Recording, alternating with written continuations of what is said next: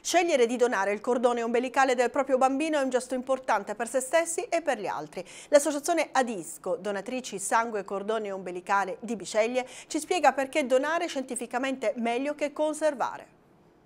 Dottoressa, donare il cordone ombelicale, un argomento di cui si sa poco, ma perché è così importante? In che cosa consiste? Cosa devono fare i genitori?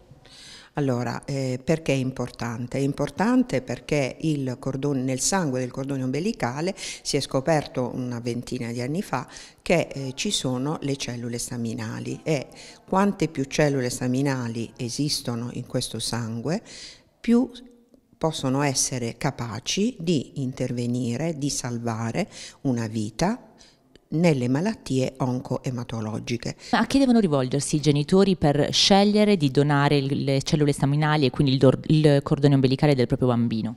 Allora, eh, i genitori, quindi la coppia giustamente, si deve rivolgere eh, alla, al centro di raccolta. I centri di raccolta sono eh, 16 in tutta la Puglia, a Bisceglie ne esiste uno e in questi centri devono dare loro, eh, il loro assenso, il loro consenso e quindi verranno a quel punto intervistati eh, una, attraverso il cosiddetto counseling, cioè viene fatto ai genitori, alla coppia, è importante la coppia, viene fatta il, eh, l'anamnesi, l'anamnesi eh, in maniera da eh, eliminare eh, la possibilità di trasmissioni di eh, malattie infettive ed anche di malattie genetiche.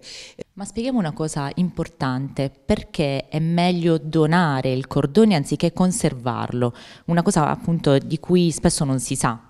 Sono due gli ordini eh, di, eh, di, importanza. Il primo è assolutamente un ordine etico. Purtroppo c'è anche una, un motivo eh, eh scientifico ovvero sia eh, è possibile che se quelle cellule dovessero servire al bimbo, in, perché purtroppo si dovesse ammalare, quelle cellule potrebbero avere nel loro DNA i geni della malattia che si è sviluppata successivamente. Comunque la donazione non è mai vana, perché innanzitutto serve alla ricerca, ma quello che è, è uh, storia diciamo abbastanza recente è che quelle cellule staminali possono essere utilizzate con grande successo nella preparazione di un gel piastrinico in grado di eh, intervenire nelle malattie eh, rigenerative, ma l'altra cosa da sottolineare è che esiste la donazione, scusate, dedicata, quindi che significa? Che se